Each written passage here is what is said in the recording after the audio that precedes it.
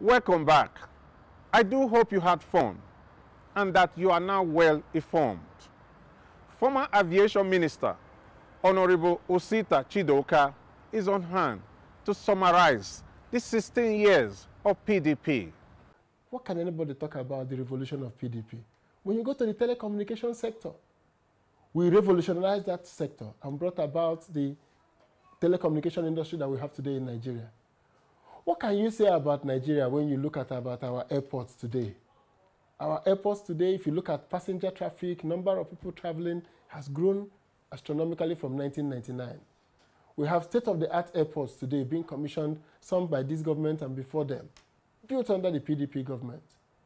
We have how many states in Nigeria connected by airports in Nigeria? If you look at them, they are mainly PDP states, building state airports.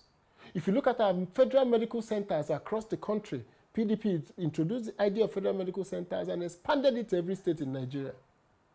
What do you talk about education and the revolution in the private sector education, allowing private universities to come on stream? Or when you talk about the sovereign wealth fund, that today Nigeria has about 1.3, 1.4 billion US dollars in a sovereign wealth fund.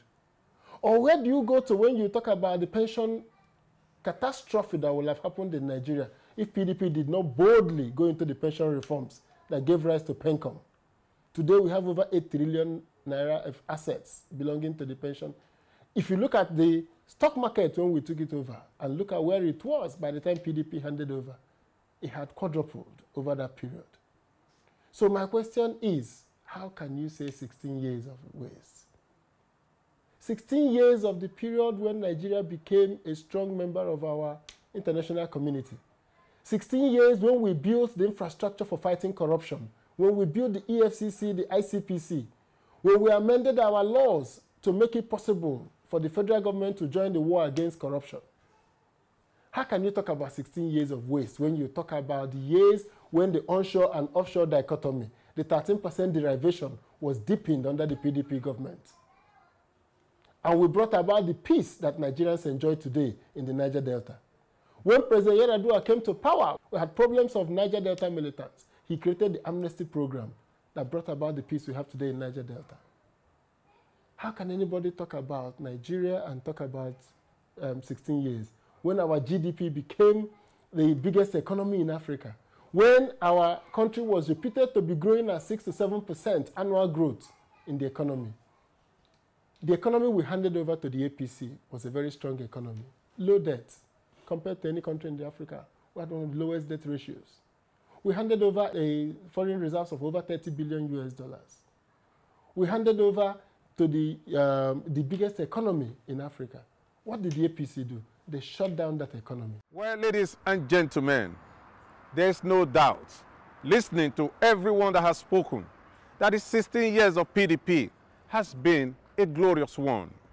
Now we join Honorable Kabiru Tanimu Turaki as he celebrates the 16 years of PDP and the future that the PDP holds for Nigeria. I think uh, 16 years of PDP are years of progress, are years of achievements, are years of decency, are years of transparency, are years of respect for the dignity of human person, are years for the respect of rule of law, are the years for the entrenchment of democracy and democratic culture. The years of deepening of institutions, critical institutions in Nigeria. In this, these are the best years of Nigeria as a nation. And we're proud of being PDP. And we're proud to be associated with the achievements of PDP.